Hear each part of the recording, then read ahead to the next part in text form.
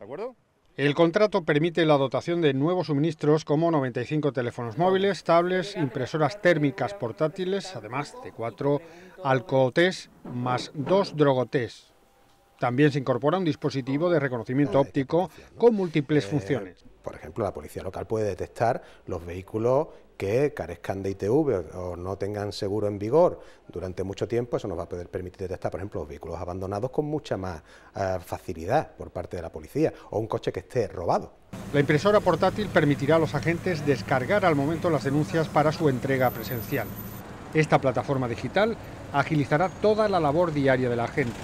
Es decir, ya va integrando esa denuncia en el aplicativo, en, el teléfono, eh, en el dispositivo móvil y eso ah, ya genera el expediente, no requiere ese trabajo de mecanización que hacía que el, ciudadano también recibiera la denuncia mucho más tarde, eso le hace al ciudadano una sensación de indefensión, recibimos muchas quejas en ese sentido.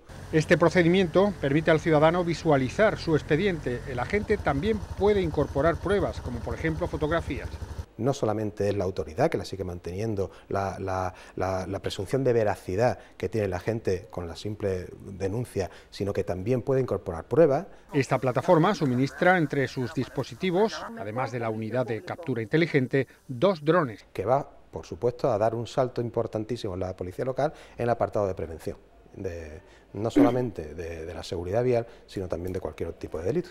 Existe un plan de formación para los agentes de más de 300 horas, tanto presencial como online, que desplazará a Ceuta a un equipo especializado para ser impartido.